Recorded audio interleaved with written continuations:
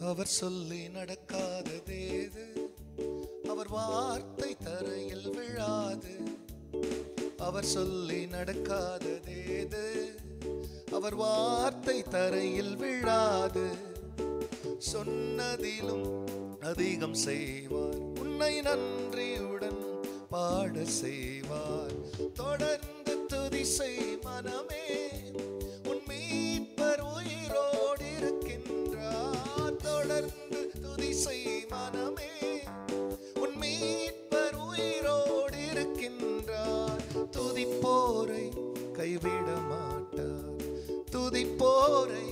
கைவிட மாட்டார் கத்தர் உன்னை நித்தமும் நடத்தி மாவாரட்சியில் தீரட்சியை தருவார்.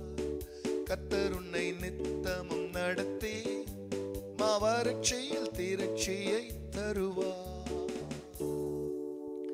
கத்துடைய பரிசுத்த நாமத்திற்கு மகிமை உண்டாகட்டும். அண்டவராக இயேசு கிறிஸ்துவ நாமத்தில் வாழ்த்துக்கள். கிருபையும் சமாதானமும் உங்களுக்கு பெருகுவதாக. எனக்கு அன்பானவர்களே இந்த நாளிலும் தேவனாகி கர்த்தர் நம்முடைய வழிநடத்தலுக்காக அவர் கொடுக்கின்ற அவருடைய வாக்குறுதியானது. ஏசையா திருக்கசன புஸ்தகத்தில் நாற்பத்தி எட்டாம் அதிகாரத்தில் பதினோராம் வசனம். கத்த நித்தமும் உன்னை நடத்தி மகா வறட்சியான காலங்களில் உன் ஆத்மாவை திருப்தியாக்கி உன் எலும்புகளை நினமுள்ளதாக்குவார் நீ நீர்ப்பாய்ச்சலான தோட்டத்தைப் போலவும் வற்றாத நீரூற்றை போலவும் இருப்பாய்.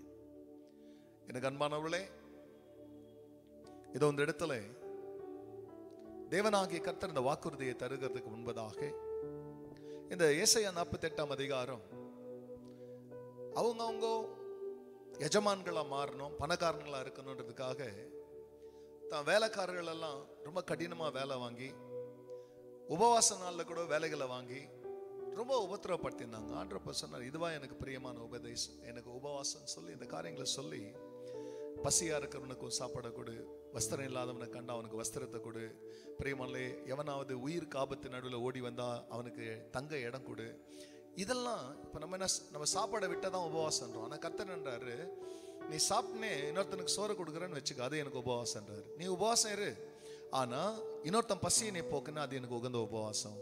இன்னொருத்தனை வ- நீ உடுத்தினா இது எனக்கு பிரியமான உபதே உபவாசம். இப்படியெல்லாம் நீ செஞ்சினா வியாதியாக்கர் உனக்கு உதவி செய்யும்போது இப்போ என்ன சரினா பணம் உன்னை நடத்தலை நான் ஒன்று நடத்த போகிறேன் நீ சாப்பிட்ற உரல உன் பணத்தில் உன் உழைப்பில் உன் பொசிஷனில் சாப்பிட்ற சாப்பாடெலாம் உயிர் ரொம்ப ஆனால் உன் ஆத்மா திருப்தி ஆகாது நீ சாப்பிட்ற சாப்பாட்டில் உன் எலும்புகள்லாம் நொறுங்கும் உலர்ந்து போவோம் ஆனால் நான் உன்னை நடத்தினேன்னா உன் ஆத்மாவை நான் திருப்தி ஆக்குவேன் உன் எலும்புகளில் நினமுள்ளதா வைப்பேன். ஏன்னா உன் சாப்பாடோ உன் பணமையில் ஒன்று நடத்திக்கிட்டு இருக்கிறது.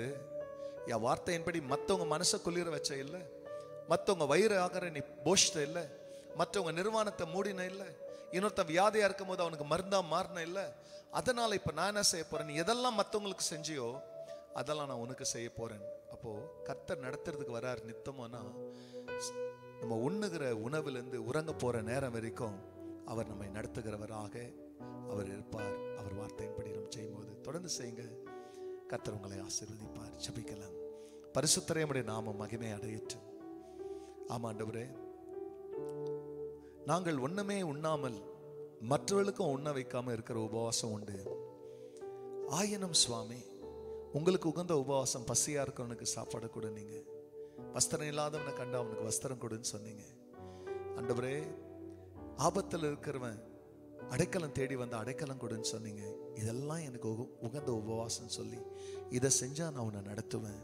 உன் ஆத்துமா திருப்தி ஆகும் உன் எலும்புகள் நினமுள்ளதாக இதை கேட்குற ஒவ்வொரு மக்களும் கஷ்டப்படுற ஜனங்களுக்கு தான் இதயத்தை அடிச்சுக்காதபடிக்கு இதய கடினத்திற்கு ஜனங்களை விளக்குங்க ஏன்னா இதய கடினம் வரும்போது அவங்களே அவங்கள நடத்துவாங்க.